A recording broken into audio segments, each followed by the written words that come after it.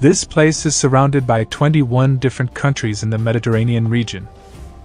Now, imagine if these 21 countries and the rest of the world somehow managed to drain all the water from the sea. Firstly, this idea is not as impossible as you might think. In the 1920s, there was a concept proposed by a man named Hermes, which was called the Atlantropa Project. The plan was to dry up the Mediterranean by blocking the Strait of Gibraltar and the Dardanelles, but it was never implemented. The main reason for the project's cancellation was the fact that the Mediterranean contains salt water, and if the sea were to dry up, it would leave behind salty soil, which is not suitable for agriculture. Additionally, some engineers calculated that there wasn't enough concrete to build the necessary dam at the Strait of Gibraltar. Another factor that played a role in the project's abandonment was the need for international cooperation. Furthermore, the citizens of the 21 countries along the Mediterranean coast would have been greatly affected as they would no longer have access to the sea, which is an integral part of their lives. The planners also failed to consider how the construction of the dam at the Strait of Gibraltar would be vulnerable to a possible nuclear bomb attack, which could result in the loss of millions of lives. They also did not account for how it would impact the atmospheric circulation patterns over Europe and Africa. Returning to the topic at hand, if the Mediterranean were somehow drained, what would happen in the world? Firstly, the entire region that was previously covered by the sea would most likely turn into an scorching hot, vast desert.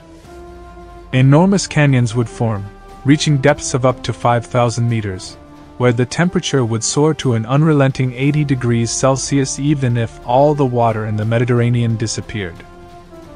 The layers of salt previously contained within the water would remain. The exposed land would become a salty, dry, and harsh desert, rendering it inhospitable for any form of life or settlement. This could also be seen as the expansion of the Sahara Desert in Africa. However, the desertification wouldn't stop there. The vast regions of southern Europe and Turkey would instantly transform into deserts as well. Portugal, Spain, France, Italy, Albania, Greece, and Turkey would be the most severely affected. The Alps and the Balkans would receive significantly less rainfall, resulting in significant damage to agriculture throughout Europe and widespread drought. Moreover, the excessive water that was once in the Mediterranean would have to go somewhere. Causing the sea levels worldwide to rise by approximately 10 meters, this would be catastrophic for cities such as Los Angeles, New York, Amsterdam, Copenhagen, and Shanghai, as they would be submerged underwater predicting the impact on the atmosphere is extremely challenging. And it's nearly impossible to anticipate how the destruction of a massive water body like the Mediterranean would affect the global climate. One thing is certain it would not be favorable.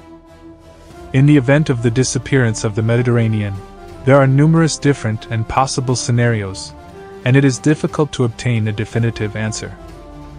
In this video, I have made a few simplifying assumptions to discuss the topic. Feel free to subscribe to the channel for more videos. Take care and goodbye.